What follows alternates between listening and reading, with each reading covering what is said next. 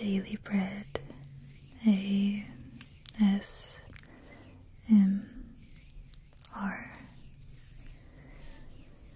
In today's video, I'm going to be reading Bible verses about rocks, and more specifically, how God is our rock. And later on in the video, I'm going to be doing some triggers with some rocks that I found the other day. And I've already filmed that part and edited it. And I think it's very nice, so I hope that you enjoy that part. And I will leave the timestamps below so that you can check it out. And it will be no talking because I figured it would be better to dedicate time to the Bible verses themselves without having too much sounds in the background with rocks and things. So there's two parts to the video, and I hope that you do enjoy both of them. Now, I will be reading verses from the New and the Old Testament. And one of the things that I find so fascinating is that in the Old Testament, Yahweh is referred to as the rock, and in the New Testament, it's Jesus who's referred to the rock as the rock. And I just find that so beautiful that we can even see the scriptures pointing to Jesus as part of the Godhead, as the Trinitarian nature of our God. So, I'm going to be reading from my phone. I have all the Bible verses and kind of notes that I want to read. So if you see me looking down, that's why.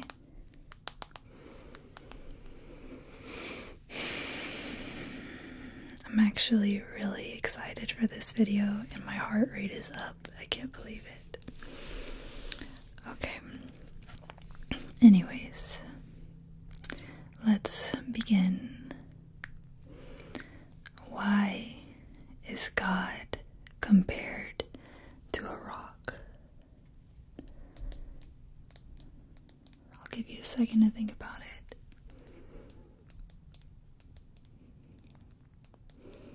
Well, God is rock like in that He is unchanging, ancient, solid, protective, secure, immovable, and something that we can stand upon with confidence. And one of the first places, not the very first place, but one of the most impactful for me, where God is mentioned as the rock, is in Deuteronomy chapter 32. And this contains the Song of Moses, which is in verses 1 through 43 of chapter 32.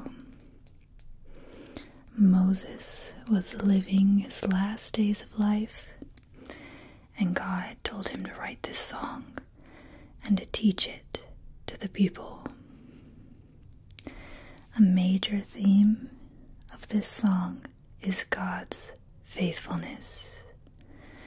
He is called the rock four times in this song in verses 15, 18, and verses 31, 30, and 31. Even as God's people are chasing whims and trusting false gods, Yahweh remains their steadfast, unchanging source of salvation. I'm going to read to you the first four verses of Moses' song. Deuteronomy 32, verses 1 through 4. Give ear, O heavens, and I will speak, and let the earth hear the words of my mouth. May my teaching drop as the rain, my speech distill as the dew, like gentle rain upon the tender grass, and like showers upon the herb. For I will proclaim the name of the Lord, ascribe greatness to our God, the rock. His work is perfect, for all his ways are justice, God of faithfulness and without iniquity, just and upright is he. Isn't that beautiful? So, let me read to you some other verses that are found in the Old Testament. 1 Samuel 2, verse 2. There is no one as holy as the Lord, for there is no one besides you, nor is there any rock like our God. 2 Samuel chapter 22, verses 1 to 4. And David spoke to the Lord the words of this song. On the day when the Lord delivered him from the hand of all his enemies and from the hand of Saul, he said, The Lord is my rock and my fortress and my deliverer, my God, my rock, in whom I take refuge, my shield and the horn of my salvation, my stronghold and my refuge, my Savior, you save me from violence. I call upon the Lord who is worthy to be praised, and I am saved from my enemies. We have a couple others that are in 2 Samuel. Later on in chapter 2 is verse 32, which says, For who is God besides the Lord? Who is a rock besides our God? For who is God besides the Lord? Who is a rock besides our God?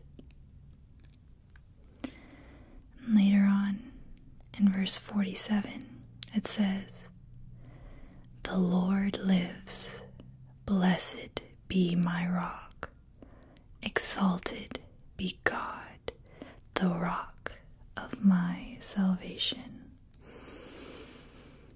The rock of my salvation. If you read through the book of Psalms, you can get an even more picture of God being our rock. I'm going to read to you some verses from the book of Psalms, and I want you to notice how often they pair together the words rock and salvation. Rock and salvation.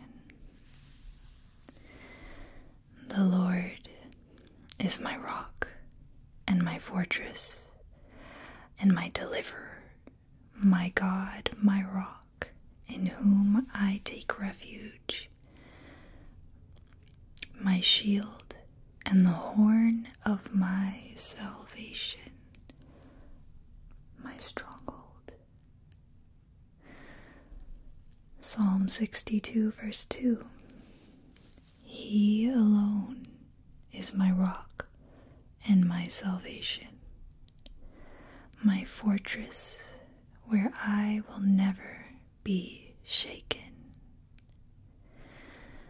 Psalm 95, verse 1 Come, let us sing to the Lord.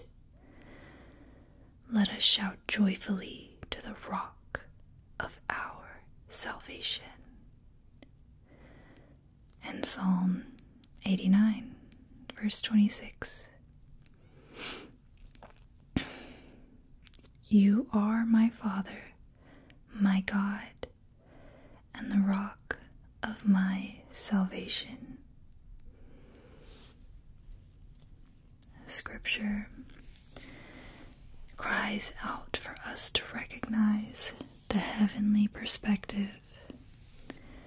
Our life on earth shall pass away, but our life in Christ is eternal.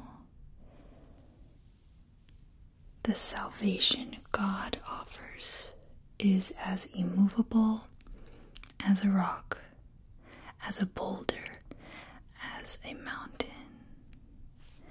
It is eternal, just like His Word. Our salvation through Jesus Christ is the rock that can never be taken away. I got that from a website, and I'll link it below if you want to read that article. Now, there are a lot of other verses in the Old Testament that mention God being a rock, but I think what I just mentioned about the salvation of Jesus Christ being like a rock and that it is immovable and eternal will give us a good segue into reading New Testament scriptures about Jesus being the rock. As Christians, it is very common to hear the saying that Jesus Christ is our solid rock. Jesus and his teachings are a solid foundation. We first read this in Matthew chapter 7, verses 24 through 27, where Jesus speaks of building your life on the solid rock. I'll read this passage to you. Everyone then who hears these words of mine and does them will be like a wise man who built his house on the rock. And the rain fell, and the floods came, and the winds blew and beat on that house. But it did not fall, because it had been founded on the rock. And everyone who hears these words of mine and does not do them will be like a foolish man who built his house on the sand, and the rain fell, and the floods came, and the winds blew and beat against that and it fell, and great was the fall of it. A parallel passage of that story is in Luke chapter 6, verses 46 through 49. It says, Why do you call me Lord, Lord, and not do what I tell you? Everyone who comes to me and hears my words and does them, I will show you what he is like. He is like a man building a house who dug deep and laid the foundation on the rock. And when a flood arose, the stream broke against that house and could not shake it, because it had been well built. But the one who hears and does not do them is like a man who built a house on the ground without a foundation. When the stream broke against it, immediately it fell, and the ruin of that house was great. Now, I'm going to jump back to the Old Testament very briefly, but because it ends up actually showing up in Romans First Peter and other places. So in Isaiah 28, verse 16, it says, Therefore, thus says the Lord God Behold, I am the one who has laid as a foundation in Zion a stone, a tested stone, a precious cornerstone of a sure foundation. Whoever believes will not be in haste.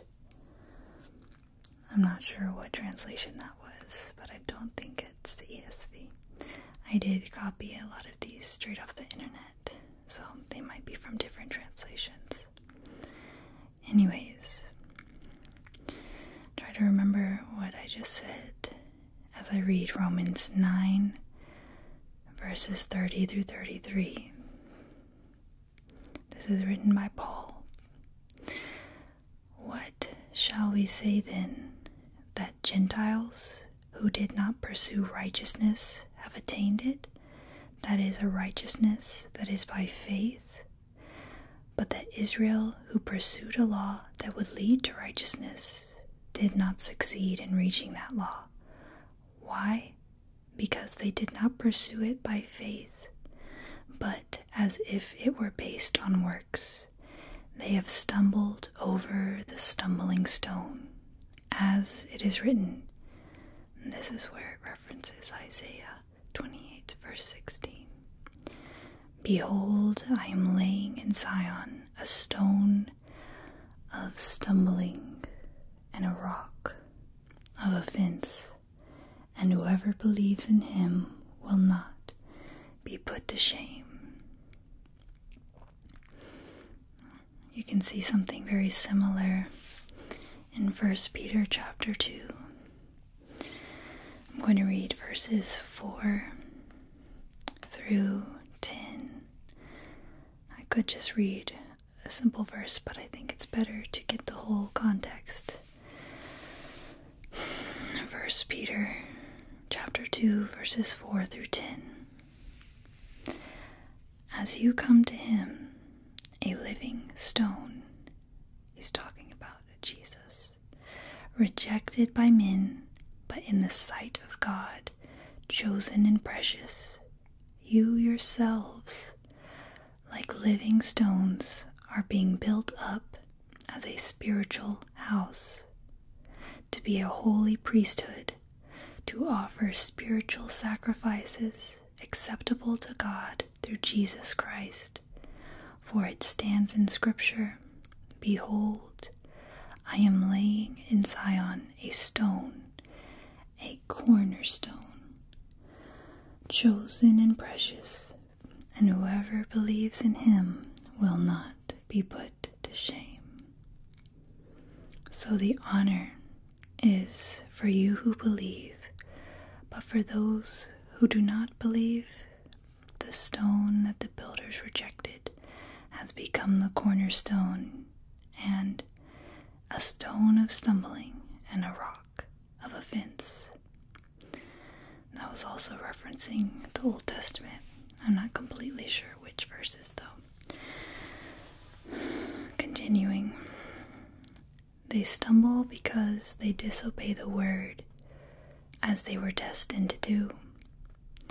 But you are a chosen race, a royal priesthood, a holy nation, a people for his own possession, that you may proclaim the excellencies of him who called you out of darkness into his marvelous light. Once you were not a people, but now you are God's people. Once you had not received mercy, but now you have received mercy. Scripture describes Jesus as the chief cornerstone of our faith. As the chief cornerstone, Jesus ensures the stability of the whole system of our salvation. Jesus was and is the only plan of salvation. And simultaneously, Jesus is referred to as the stumbling stone because he came to his own people, the Israelites, and instead of embracing him, they stumbled over him and ultimately nailed him to the cross. But the good news is that we can receive mercy, for ultimately we all put Jesus on the cross, for we have all sinned. But God, in His love, has allowed us to believe on the Lord Jesus with faith, to repent in our sins, and to trust in the finished work of Christ on the cross. He has given us a free gift of salvation and mercy. And how could you deny it? It is precious, it is beautiful. God is the rock upon which we stand. All other ground is sinking sand. That's a reference to hymn. It wasn't spoken perfectly correctly, but I'm sure you guys know what hymn I'm talking about. My hope is built on nothing less than Jesus' blood and righteousness. I dare not trust the sweetest frame, but wholly lean on Jesus' name. So, I hope that you can find comfort in the fact that God is so much greater than we could ever imagine, even though He is compared to a rock. He's even stronger, even more firm of a foundation than a rock, than a boulder. That is just a mere comparison. And it's not an exact equality of the two, but it's the closest thing we can get to in trying to describe how secure of a refuge God is. He loves you. He wants to be your friend. Go read John 15, where it talks about what it means to be the friend of Jesus. And do a further study of what it means to be